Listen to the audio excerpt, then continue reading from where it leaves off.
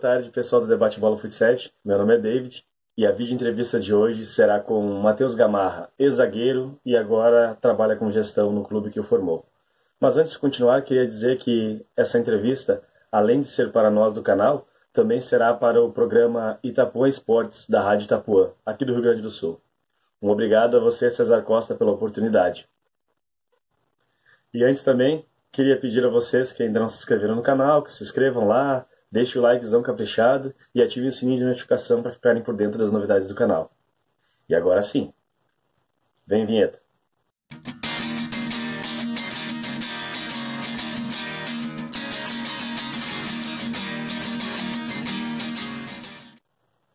Bom, e para começar a nossa entrevista de hoje, queria pedir a você, Matheus, que se apresente para nós do canal, se apresente para o pessoal do Itapuã Esportes, da Rádio Itapuã, do nosso amigo César Costa, e que fale para nós um pouco sobre a sua vivência no futebol, onde começou a jogar, com quantos anos começou a jogar, qual time o profissionalizou, e cita para nós algumas equipes pelas quais você passou. Fala galera, aqui é o ex-zagueiro Matheus Gamarra.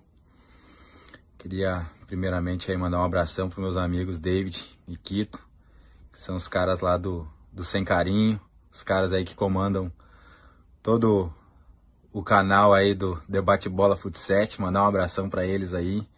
O canal tá fera, hein? Então, pessoal, comecei a jogar futebol aos 10 anos de idade, nas categorias de base aqui do, do Harmonia, o clube da minha cidade, cidade de Canoas onde participei de algumas competições municipais, regionais. Fiquei até os meus 15 anos no clube. E, e entre idas, idas e vindas, uh, joguei alguns gauchões, sub-13, sub-15, uh, pelo Rio Pardo, na época comandado pelo, pelo professor Fabrício Souza. E quando eu tinha uns 17 anos, mais ou menos, uh, minha, minha cidade aqui montou uma seleção sub-21, e eu tive a oportunidade de, de, de participar para disputar uma competição estadual. Era, era uma categoria muito mais, muito mais acima do que, do que a minha idade, né? Na época eu tinha 17. E foi ali onde eu comecei a, a aparecer pro futebol, que eu comecei a mostrar meu futebol mesmo no estado. E, e no outro ano foi montada uma categoria sub-18 também, que foi onde eu fui, fui descoberto, fui visto pelo, pela equipe do Sapucaense e tive, e tive a, a oportunidade de ser contratado por eles. E o Sapucaense foi a primeira equipe que me deu a oportunidade profissional. Isso no ano de 2007. Eu estava com 18 para 19 anos. E, e tivemos Fizemos uma campanha maravilhosa naquele ano na divisão de acesso, fomos campeões. Chegamos à Série A com um timaço que o professor Círio Quadros montou. E a partir dali as coisas começaram a andar. Saí do Sapucaense, fui pro Lajadense. Uh, do Lajadense fui pro, pro Inter de Lages, Gaúcho Passo Fundo. Rodei vários clubes do Brasil. Joguei no Tocantins, joguei Pernambuco, Alagoas, joguei no Amapá e tive a oportunidade de, de disputar finais de estaduais, campeonato brasileiro. E foi foi dez anos assim maravilhosos para mim, que de muito aprendizado, uh, de para aprender outras culturas também. Aprendi muita coisa durante esses esses dez anos. É, pessoal, todos nós que já jogamos futebol ou que gostamos de futebol sabemos que há diversos fatores que podem influenciar a uma aposentadoria precoce de um jogador. Mateus, queria saber o porquê você parou, ou o que fez você parar, e o que faz atualmente. E o que me fez parar de, jogar futebol foi uma lesão no joelho, que eu sofri em 2017, jogando futebol 7 aqui no Rio Grande do Sul, pela equipe do Internacional. E essa lesão não me fez, não me motivou a voltar aos gramados, a voltar a jogar profissionalmente.